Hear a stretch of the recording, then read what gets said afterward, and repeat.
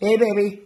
What's up, sweetie? Come out here. I made you a drink. Oh, what you got? This is called the Afterburner. Afterburner. So it has two ounces of this straight vodka, that ounce of triple sec, and just a, a smidge of grapefruit juice. It's a fancy glass. Pinky's up.